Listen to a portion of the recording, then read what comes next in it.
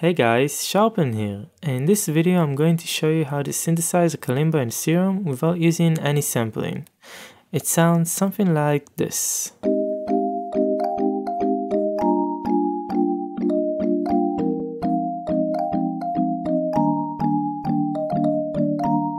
So in order to synthesize a kalimba, we're going to first take a look at how a real kalimba sounds like. So here's a kalimba recording that I got to record a while ago and as you can see we have our main fundamental tone here. And then we have some noise mostly happening on the high frequencies and a bit on the mids. And that's pretty much all there is to it. So let's make it in serum. You want to go into analog and basic shapes and then you want to go into the wavetable editor and delete um, 3 to 7 we don't need them. Uh, all we need is 1 which is our sine wave our fundamental and 2 which we don't need so we're going to use the wavetable editor to change it. So um, as for the noise that's happening uh, it doesn't have the fundamental. As you can see it starts happening a bit above the fundamental and mostly happens on the high end. So we're going to recreate the same thing by not adding the fundamental and starting on the second harmonic.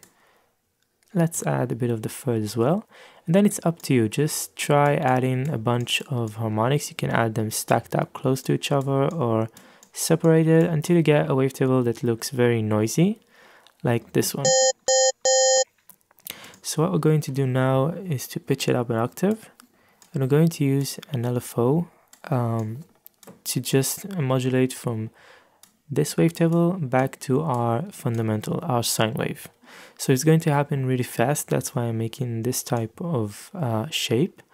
And I'm removing the BPM setting to set it really fast. And on envelope mode so that it only triggers one time. Something like this. Let's hear it. And now let's create a volume envelope that fits a kalimba. So that means it should have no sustain. It should have some release, some decay, like 2 seconds, and like 400 milliseconds release. And as you can hear, it already sounds like a very convincing kalimba. And my suggestion is to just mess with it. If you're looking for a more lo-fi kalimba, you can instead just like add the more the more lower harmonics instead and see how it goes but I'm going to add some of the uh, higher harmonics as well. Let's hear it. And then if you're looking again for more lo-fi sound you can go into single and just filter it. And if you're looking for an even more lo-fi sound you can then just low pass it again and set it for example to keyboard tracking so that it doesn't matter where are you playing on the keyboard it's going to reveal the same amount of um, frequencies.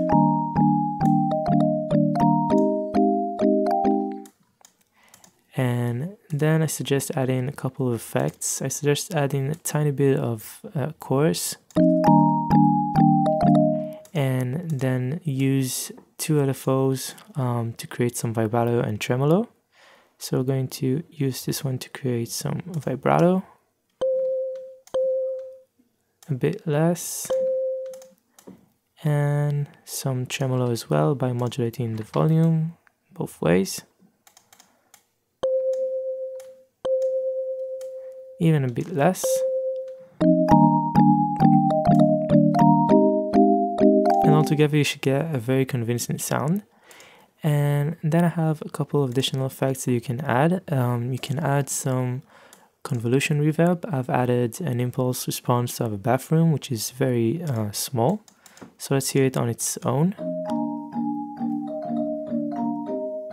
So as you can hear this type of reverb barely adds um, any mud and doesn't blur the sound too much. It just makes it sound like it's being played in a room and not dry out of the synth.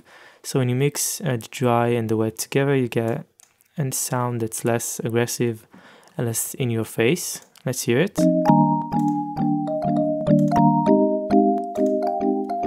And in addition to that, I've also added some dimension expanding. Um, and one more thing that I've added in a, a send mixer is some delay that has some reverb being applied to it as well and it's been uh, high passed quite a bit all of the lows are gone so altogether you get a nice atmospheric sound let's hear it on its own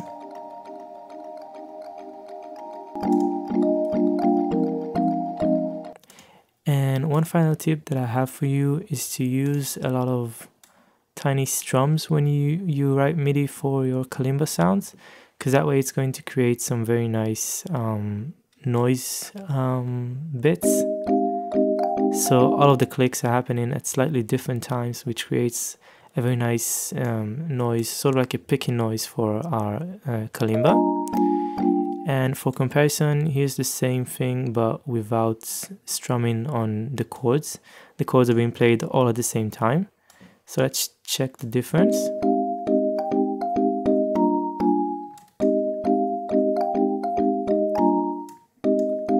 So as you can hear, it's a lot less alive and it sounds way more synthesized.